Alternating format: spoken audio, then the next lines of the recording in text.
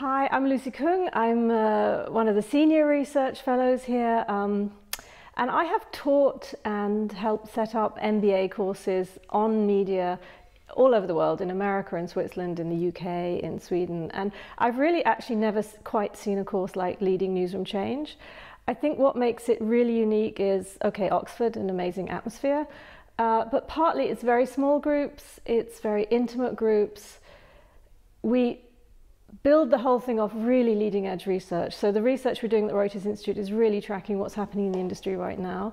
Um, so really, really cutting edge insights into what's happening in the industry that we then deepen through discussing that in depth with the participants.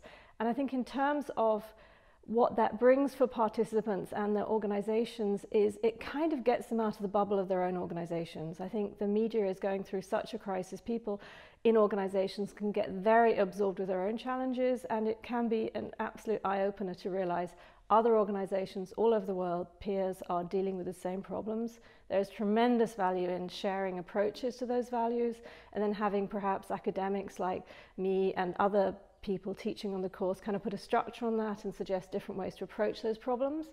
So essentially, I think for the organizations and the participants, there's a slight kind of change of mindset and really a contribution also to changing cultures, getting people up to speed with where the industry is going. So, and of course, they then build a network of peers that, that they can continue to consult with and talk with and share ideas with. So I think it is a pretty unique course.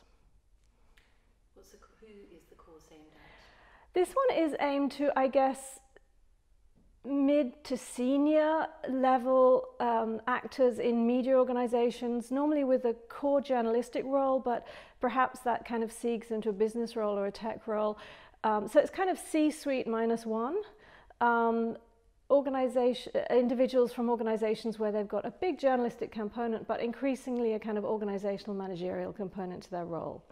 Uh, I guess what fascinates me is strategy and culture. So these areas, it's not really so much the transformations happening in the content, content realm, it's actually how organizations are transforming and how media, the media industry can actually master those challenges. Because I think there's the organizational shifts that have to be made at the moment are enormous and very complex and somewhat under-indexed. So what I try and do, my contribution is to try and scope out how organizations need to change and what, how individuals can ensure that happens essentially.